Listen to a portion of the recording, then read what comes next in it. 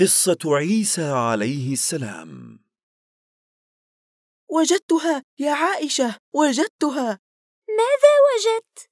الصفحة الشخصية لصديقي الفلسطيني الذي أخبرتك عنه تقصد الذي قابلته في موسم الحج الماضي وكان من مدينة غزة؟ إنه ليس من مدينة غزة بل من مدينة بيت لحم وهل توجد مدينة بهذا الاسم في فلسطين؟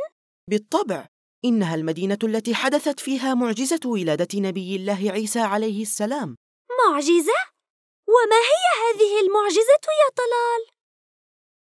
أرسل الله سبحانه وتعالى جبريل عليه السلام إلى السيدة مريم بنت عمران عليها السلام فنفخ فيه من روحه بأمر الله فحملت بعيسى عليه السلام فولد عيسى عليه السلام في مدينة بيت لحم وقد انفرد من بين البشر بنسبه إلى أمه المعروفة بالطهر والعفاف الآن فهمت لماذا سمي بعيسى ابن مريم أنا أعرف أن نبينا محمدًا صلى الله عليه وسلم نزل عليه القرآن، فماذا أنزل الله على نبيه عيسى عليه السلام؟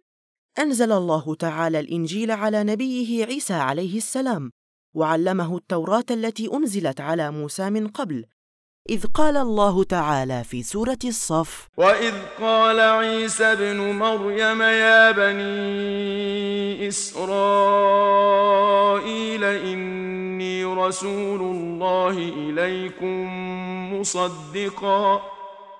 مصدقا لما بين يدي من التوراة ومبشرا برسول يأتي من بعد اسمه أحمد أستنتج من هذا أن عيسى عليه السلام أخذ يدعو قومه إلى عبادة الله وحده لا شريك له كدعوة الأنبياء جميعًا.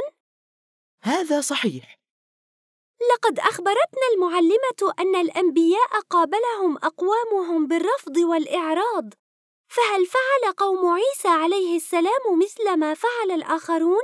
آمنت طائفة منهم وكفر الباقون، ثم عزموا على قتله وصلبه، لكن الله نجاه منهم. قال الله تعالى: وقولهم إنا قتلنا المسيح عيسى ابن مريم رسول الله وما قتلوه وما صلبوه ولكن شبه لهم وإن الذين اختلفوا فيه لفي شك منه ما لهم به من علم إلا اتباع الظن وما قتلوه يقينا بل رفعه الله إليه وكان الله عزيزا حكيما